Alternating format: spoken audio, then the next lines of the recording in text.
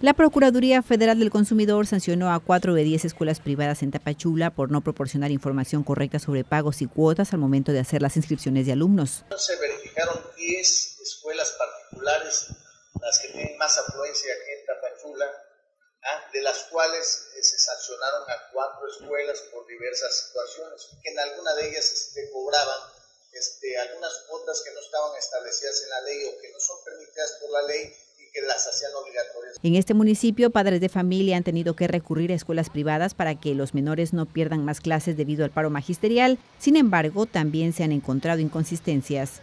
Algunas cobran seguros, eh, seguro de escuelas, algunos este, eh, transporte, algunos,